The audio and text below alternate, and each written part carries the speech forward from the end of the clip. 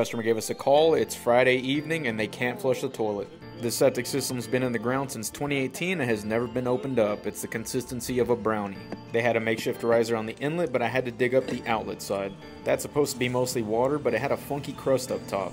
The homeowner wanted to get everything pumped down and then get the line cleared afterwards, so I'm to bring in the crust buster to mix up a poop smoothie. Mmm! Smells like money. The forbidden brownie batter. I'm going to leave my vacuum hose pumping down the inlet as I move over to the outlet and mix that up as well. The reason most states recommend pumping out your septic tank every 2 to 5 years is so they don't ever build up to this point and potentially cause harm to your drain field. Now that I'm at the bottom of the tank, I'm going to rinse everything off. It doesn't have to be so clean you can eat off it, but I at least want to see concrete.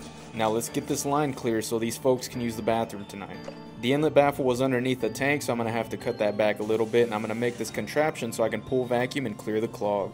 Pulled the clog out, and we now have a feces fountain. And after that, this customer should be good to go for the next 3 to 5 years.